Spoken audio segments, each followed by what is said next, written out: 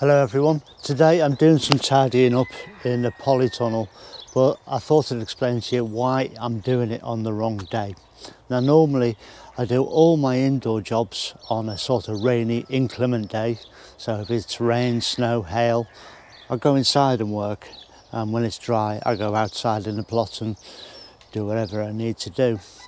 But I started this uh, in here a good few days ago, put a few things away in the shed, did a little bit of a tidy up and you'll see in a minute.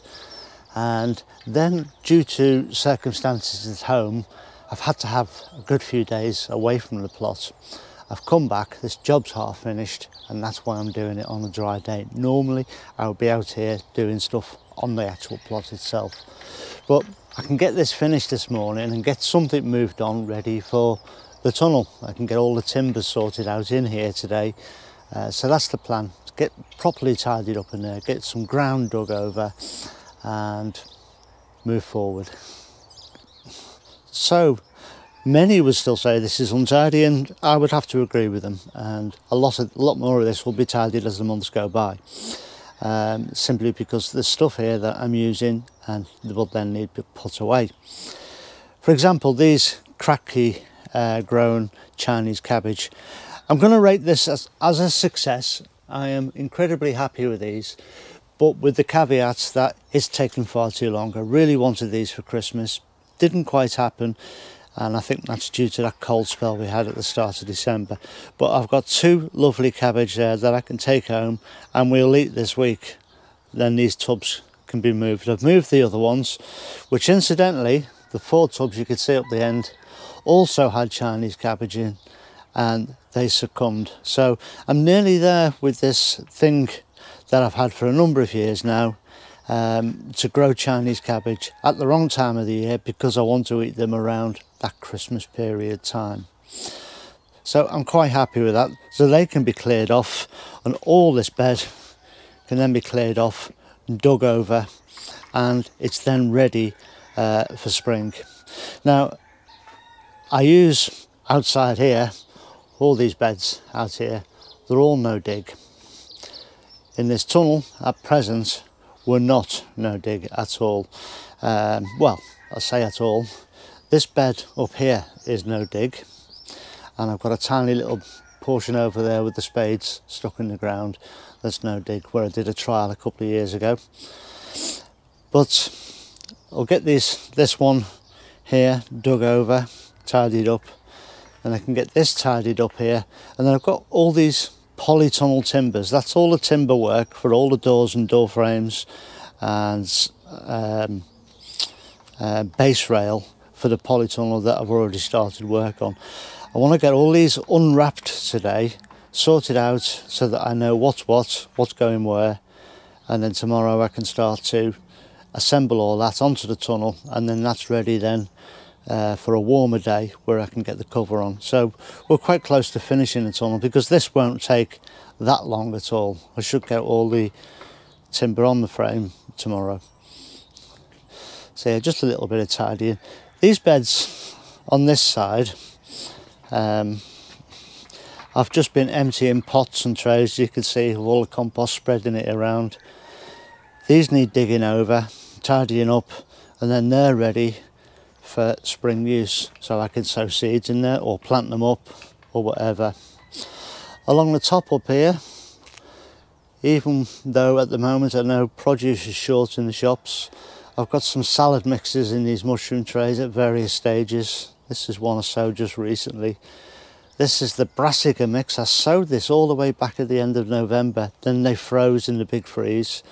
But that's all brassicas. That's all for stir fry. And that is fantastic. Again, it was old seed, so even better. I've got my onions there. Don't grow a lot of them, but I've got some to grow. Some cauliflowers, some spring onions in here, multi-sown. Some are just starting to come through.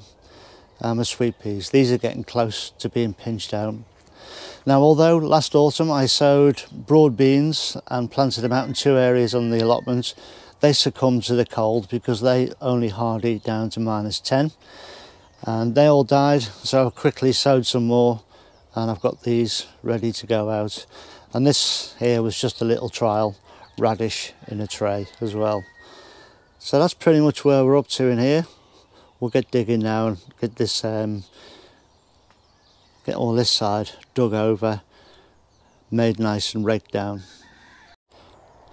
So with these beds now dug over and roughly raked, these are now ready. But I have noticed whilst doing it, the ground is a bit dry. So I'm going to water it.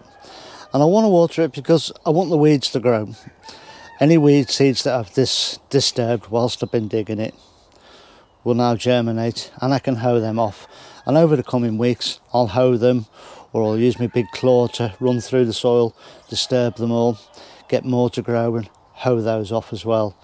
And that will just make everything so much easier with less weeds to germinate during the spring.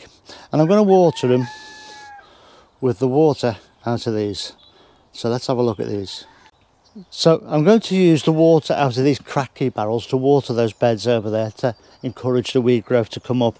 And essentially if I pull this up you'll see the roots coming out from these Chinese cabbage because these are just in a little basket with some clay inert pebbles in there. You just slip your plant in and your plant grows away in the mixed feed and water in there. So I can now harvest that, remove that and take it home. It's exactly the same with that one. So they're a success. And if it wasn't for that freeze that we had at the start of December, I reckon they'd have been ready for Christmas and I would have achieved my ambition or aim. So they're ready to take home. I can use the water in these to water them beds.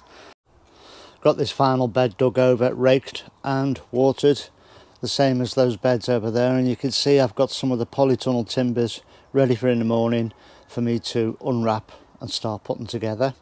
Up here is the no dig bed, just wants a very light weeding and some more compost chucked on and that's all the base rail timbers over there and that'll help to finish this off but that's just about done in here although it's the wrong day for working indoors simply because it's not raining i normally do all my work undercover when it's raining. When it's like this glorious sunshine i'm normally outside on the plot.